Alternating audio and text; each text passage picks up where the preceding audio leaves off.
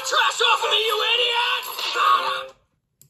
Well, you just do what I tell you to do. God damn it, if I had a wartime consigliere Sicilian, I wouldn't be in a shape.